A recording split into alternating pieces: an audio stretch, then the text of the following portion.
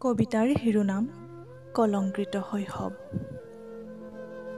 মন নাযায় কৰিবলৈ কিন্তু কৰিব লগা হয়।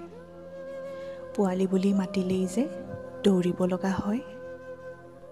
পখিলা খেদাৰ বয়সতে গধুৰ কামৰ বোজা পৰে। এই জীৱন্ত চহৰতে আমাৰ শৈশৱবোৰ মৰে। এই উদাস হোৱা মনক বুজাম কিদৰে? দুখ দিম ভাগ্যক নে যুঁজিম দৰিদ্ৰতাৰে? হ'ব লাগিছিল কলম হাতত কিন্তু পাৰ হৈ যে শৈশৱ জীৱন সংঘাতত?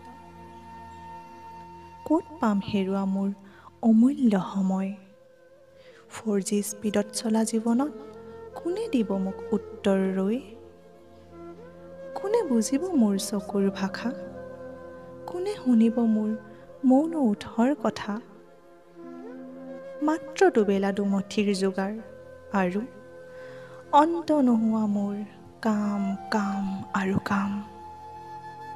সাঁতুৰি বটালি কোৰ কাচি লৈ কেতিয়াবা বাচন ধোৱা ক'ৰবাত কাপোৰ ধোৱা ডাঙৰ বাবুৰ ঘৰত কেঁচুৱা চম্ভালা আৰু কলনীত নামো পাইছোঁ চাফাইৱালা। কৰিবতো লাগিবই। দিমনো কাক দোষ। সময়ৰ অপেক্ষাত যে নৰয় পেটৰ ভোক। মোৰো বহুত আশা আছে হেঁপাহ আছে উৰাৰ। আইৰ কোমল কোলাত বহি উমলা গীত শুনাৰ। কোমলীয়া বয়সতে যে দায়িত্ববোৰে খেৰি ধৰিলে আৰু মোৰ সোণালী ভৱিষ্যতৰ সপোনবোৰ তাতে খহি পৰিলে। আজিও ব্যৰ্থ দেখোন। বিভিন্ন আইন আঁচনিৰ আহ্বান শিশুশ্ৰম যেনে প্ৰত্যাহ্বান। কেৱল আইনে জানো ইয়াৰ একমাত্ৰ সমাধান? সমাজৰ সৰ্বস্তৰৰ অবিৰাম প্ৰচেষ্টাইহে কৰিব প্ৰত্যাশিত ফলদান।